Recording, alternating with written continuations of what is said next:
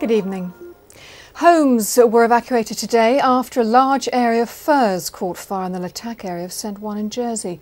Reserve firefighters were called in as four engines and two water carriers battled to prevent the fire from reaching houses. Well, two firefighters received ankle injuries. Our reporter Amy Harris was there. This is the result of our dry summer weather. Yet another furze fire in Jersey. Only this one in St. Ouen is the most serious of the year.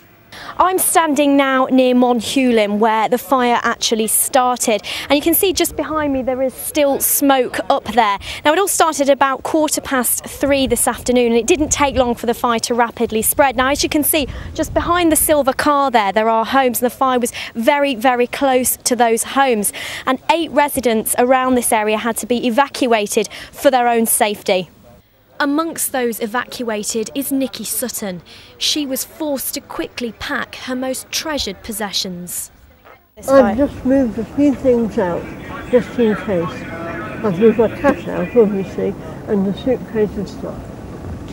This family were also amongst the residents taken to the parish hall for safety. There's been at least eight residents evacuated and four children uh, because of the concerns. We're now at uh, 4.30 and I understand from uh, the fire service that they've now got the fire under control but as you can see that the smoke is, uh, is still quite bad and uh, we've tried to move some of the residents up to St Ouen's Parish Hall, one as a place of safety and also as a point of communication.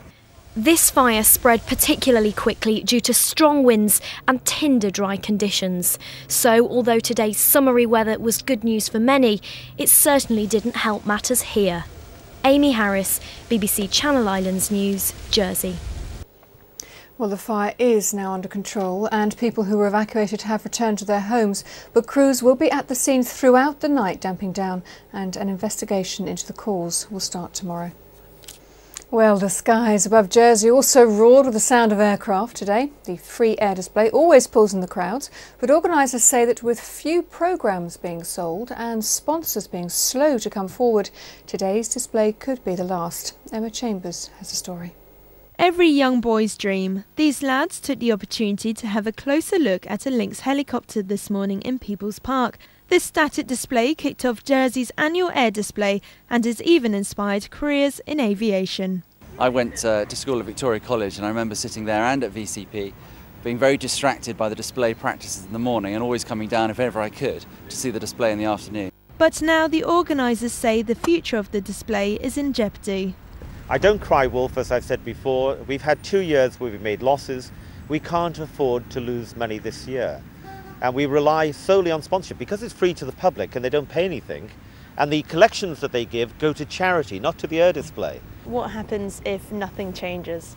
Then I'm afraid we will not have an air display. Despite fears behind the scenes, in the skies the free display continued to wow the crowds.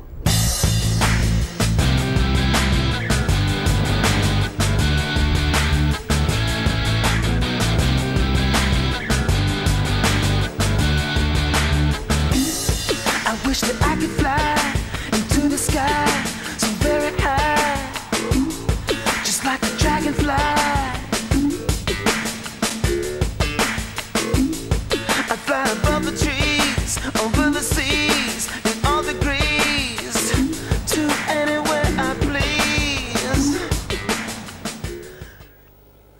And there's photos and videos of today's displays on our website bbc.co.uk forward slash Jersey or forward slash Guernsey.